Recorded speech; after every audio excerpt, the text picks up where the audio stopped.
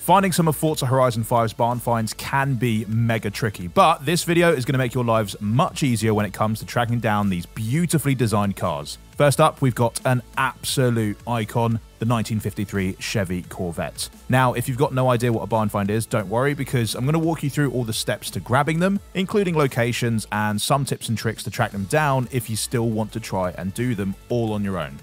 So the first thing you're going to want to do is open up your map and actually head to these areas called barn find rumors, which look like these sort of purple circles on the map with a question mark on them. Once you're there, you actually need to go into your menu to pick out the drone mode. Now, this thing is going to be crucial if you're trying to find the barn finds on your own, but don't worry, we're going to show you the exact pinpoint locations for every single one throughout the video if you just rather get them done out of the way. In drone mode, you can see you can actually just fly around quite a large distance away from your car itself, and this is a really handy way of finding the actual barns themselves, especially ones that are like tucked between trees or just uh, behind sort of mountainous areas as well, hiding behind rocks and things like that. Drone mode comes packed with a turbo feature which really lets you fly across the map at a high speed, which is great for covering distance and finding the barns. Once you've spotted the barn itself, you'll see that the purple map icon actually changes to this grey one with the exact pinpoint location of the barn itself. The next thing you need to do is literally just drive right up to it. Eventually, you'll trigger a cutscene uh, where you guys will open up the doors to the car. It will show you how rusted out and all battered and broken it looks, but after a little bit of time's passed, you'll get a call telling you that your car is ready to drive. The Corvette itself might not be the fastest car out there, but it's actually a beautiful little motor that just looks brilliant driving through the cities at night or wherever you happen to take it.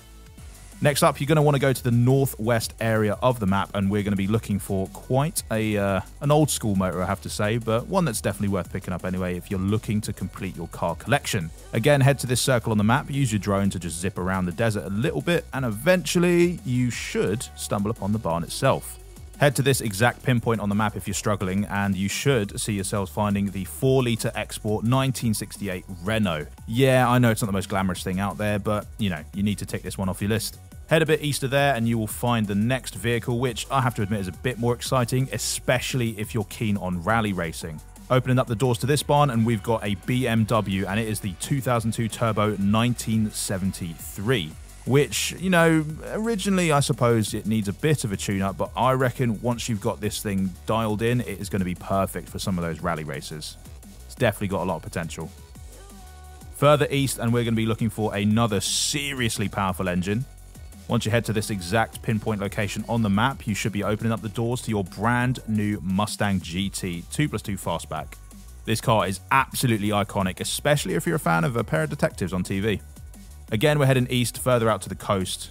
This one uh, is going to be very exciting because this is actually probably the most valuable car out of the entire collection. Incredibly rare. This might just be a cult classic.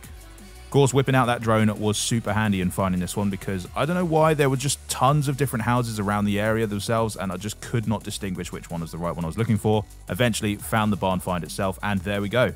Cheeky little find getting the uh, 1962 Ferrari GTO. Now we're sort of heading to the opposite end of the scale because this next one's far more of a utility vehicle, but again, it's still quite a handy one to pick up if you're looking to get all those achievements and barn finds. Nearer to the motorway this time, and we're going to show you the pinpoint location, but it isn't too far from the previous barn that we just visited. Once you drive up to this one, you're going to be staring into the face of a, uh, well, a little pickup truck basically. It is a uh, 1956 F100 from Ford. Yeah, it's a little banged up and battered, but you know what? It's probably going to make for some pretty cool photos. And I bet it would look wicked jumping off of a ramp. Okay, now we're really hitting up close to the east coast itself and sort of nearer to the swamp area slightly. Heading a bit closer to the actual beach itself now, and we're going to be finding a F40 Competizione from Ferrari, which is probably one of the more exciting vehicles on this list, purely because it is mega speedy without any tuning needed whatsoever. Heading slightly west now for the next one up, and uh, this one's pretty cool as well. And yes, I did just fast travel, but you know what? I got credits to burn, so why not? Here is the exact location for the next barn find that you need, and this one is a Dodge Viper ACR. Yes, beautiful. I mean, this probably has one of the most aggressive looking hoods I've seen on a car to date. And you know what? I bet this one's going to be perfect for people who are looking for a new drift motor as well once it's tuned up. Okay, heading out a little bit more west, and we're actually going to double down on the Dodges with the barn finds because we're looking for the Dart Hemi Superstock. This one looks kind of weird. It literally looks like two front ends of a car welded together, but you know what? I bet once it's upgraded, it's probably decent at drifts or even drags. Okay, next up, you're heading south, more towards the river area, and this next car is going to be perfect for people who just love an off-road adventure, or just love a bit more of the uh, dirt tracks with some rumbling, bumbling action. Once you roll up, you're going to stumble upon the GMC Jimmy. Yes, it's called the Jimmy. I don't know why. Maybe someone in the comments can let me know. So this one's located right next to one of the bigger drag strips on the map, tucked away in the south, and once you head past this cargo plane, you'll see the barn right in front of you. Now, I was pretty excited about this one because I've had a few Jaguars in my garage and they've all been pretty decent stock, but I was especially blown away by the Sport XJR 15. Literally, I was just blazing through people on the track. It was so, so easy to drive, just really fast and powerful for its class and for its type. So if you're looking to get into street scene and you want sort of an old school motor to drive around, this is definitely the one to pick up. It handles beautifully around bends. It's really great at keeping up its pace. It's just a beautiful car.